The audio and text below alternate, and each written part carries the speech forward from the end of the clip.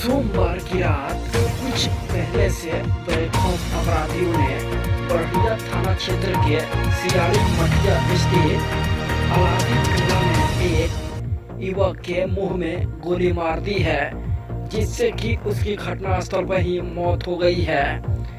इस घटना के बाद इलाके में सनसनी फैल गई है और ग्रामीणों में खैप पैदा हो गई है।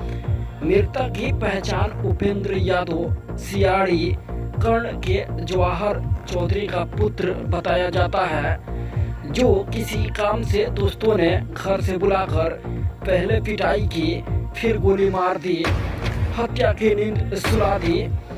बहरहाल सूचना पाते ही पुलिस दल बल के साथ मौके पर पहुंचकर शव को अपने कब्जे में लेकर पोस्टमार्टम के लिए सीवान सदर अस्पताल भेज दिया है। और पुलिस पूरे मामले को गंभीरता से जाँच करने में जुटी हुई है। अपराधियों की गिरफ्तारी के लिए बहरहाल छापेमारी तेज कर दी गई है।